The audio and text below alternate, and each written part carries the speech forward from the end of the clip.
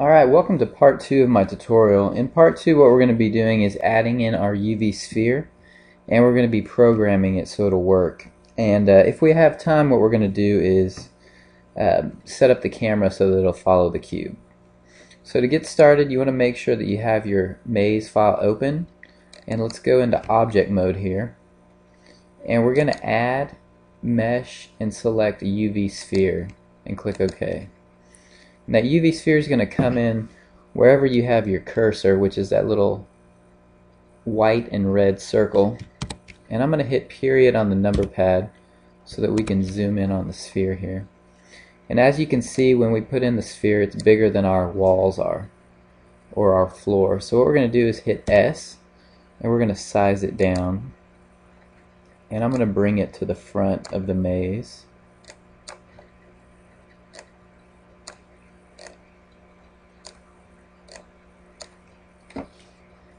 And I'm going to zoom in on it again here. What we're going to do with our sphere so it's not so plain is we're going to sculpt it. So in order to sculpt this sphere, I'm going to get it where I can see it and hit period to zoom in on it. We're going to give it like a little face. So what we're going to do is go into sculpt mode and press N on your keyboard like Nancy and that'll bring up the sculpt properties. And you're going to go ahead and draw a little face. This can be however you want it to be. Give it some eyebrows. I'm to go through this kind of quickly because my class has already done it. Give it some eyes. Give it a nose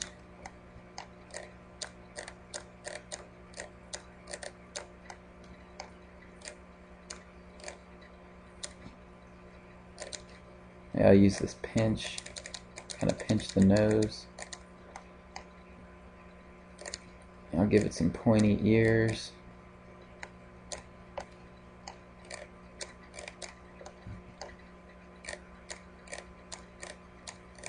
We're basically giving our our uh, sphere some character here. Oops, it's on subtract. Let's see. I'm gonna give him a little mouth. I'm gonna do this pretty quick for the sake of the video. Alright, so basically make a little creature. He's gonna be the one going through your maze. He's your good guy. Alright, so once you're done sculpting him, we're gonna go back to object mode and we're gonna click on the logic button or you can hit F4 and we're gonna put in our controls for him. Now when you're putting in your controls you have to look at which way you set up your maze. My green arrow, which is the y-axis, is going up and down and my red axis, which is the x, is pointing to the right. So we're going to do that accordingly. So the first thing we're going to do is open up the sensors, the controllers, and the actuators. And what you want to do first with the first sensor, we're going to go to keyboard here and you click on where it says key and we're going to do the up arrow first and you want to connect your sensor to your controller and then your controller to your actuator. So when you push the up arrow, we're telling it to do something. And right now it says simple motion. This is because it's still static. So what we need to do is change it to rigid body, make it an actor, and check bounds. Where it says LINV, that stands for linear velocity. And we want up to go the same direction as the green arrow. So our green direction is our y-axis. So that corresponds to the middle column here. So where it says the row is uh, LINV and the middle column, we're going to give it a positive value. So we're going to do, we're going to give it a value of 10 and then hit enter. So we're telling it to move in a line along the y-axis, which is your green arrow. So if I hit P, and then I hit the up arrow, it's going to move forward. Okay? and we can always change the values feel free to change them I'm gonna leave it I'm gonna try it at 5 and see if that goes a little slower there we go so I'll leave it at 5 and you can hide these by clicking on the little triangles now what we're gonna do I'm gonna hold the middle mouse button I'm gonna move this up if you hold the middle mouse button you can move um, this up and down. Okay, so I'm going to add in a new sensor, controller, and actuator. I'm going to go to keyboard for my sensor, and I'm going to do the down arrow. So I'm going to push down. I'm going to connect my sensor to my controller. And down is just the opposite way. So where it says LINV in the middle column, I'm going to put a negative 5.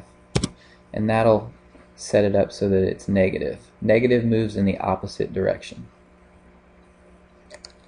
And I'm going to go ahead and add the right key. So keyboard, go to the key and I'm going to hit the right arrow key.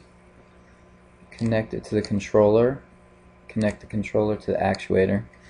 Now our right key corresponds if we're looking at it this way, our right key corresponds to the red arrow, which is the x-axis. So that's going to be the first column here. So find the row where it says LINV and the first column and give it a positive value of 5.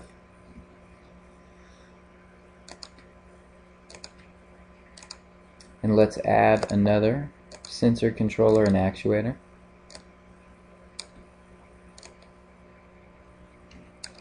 Oops. And if you mess up and want to delete one of these, all you do is left click it. It'll turn white. Or just hold your mouse on it with the pointer and hit delete and that'll delete them in case you mess up. Alright, so our last keyboard sensor is going to be the left key. So we're going to select key, hit left. I've connected the sensor to the controller and I'm putting the controller to the actuator. And we're just going to make this one negative 5 okay? And I'm gonna put all these up. And if you hold the mouse button over the middle here it'll give you this double arrow and you can left click and drag down so you can see your maze better. And we can go ahead and try it out so I'm gonna hit P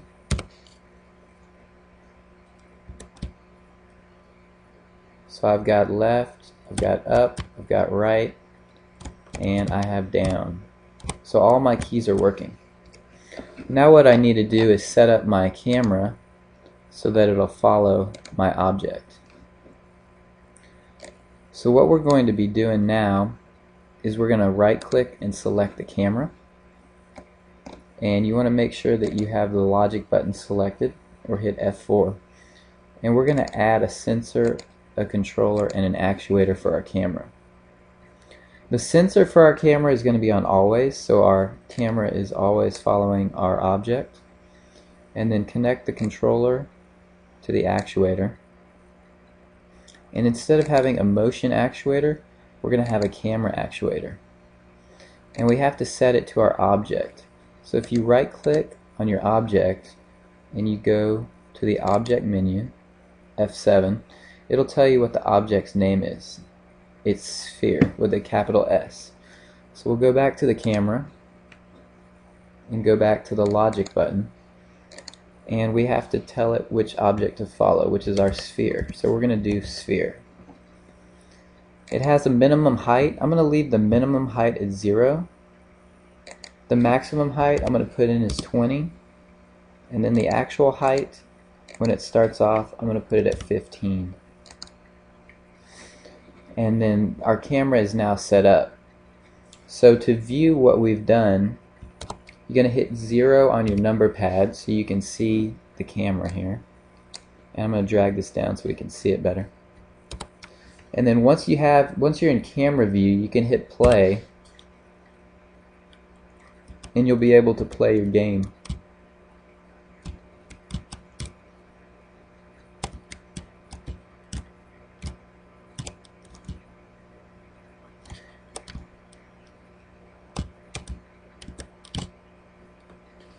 There we go. So I'll escape from that. Now, if your camera's not doing what you want, you can always go back and change these settings. You can adjust the height so it'll stay on your your object. It'll be right on it. Um, basically, change the settings so that it'll, it'll make it work for your maze. And then once you've done that, you're done with part two. Thank you. Also, make sure you want to save. You go to File, Save when you are done. Always save your work. Thank you.